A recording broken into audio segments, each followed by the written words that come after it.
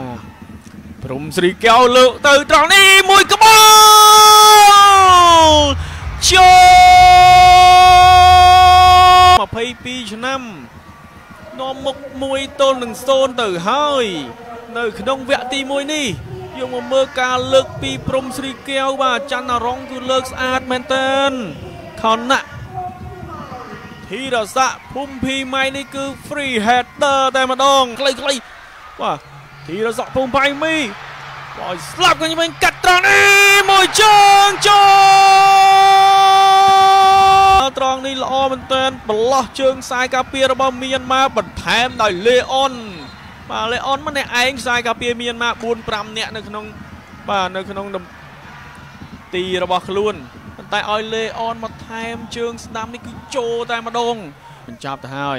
បាទលេងបាល់ខ្លីៗអាណាន់ឲ្យអាពីស៊ីត អាពីស៊ីតបោះឲ្យអាណាន់អាណាន់អាណាន់អាណាន់សុតខ្លួនអីតែម្ដងល្អណាស់ចូលអាណាន់សុតពីចម្ងាយមួយជើងស្ដាំបាទ7យើងមើលមើលចម្ងាយយើង30ម៉ែត្រត្រង់នេះអាណាន់សុតស្អាតណាស់បាទទាញសុត ខ្លួនឯងតែម្ដង អាណាន់ប្រូសេត្រង់នេះគឺគ្មានសល់ទេយើងមើលការសុទ្ធរបស់អាណាន់បាទ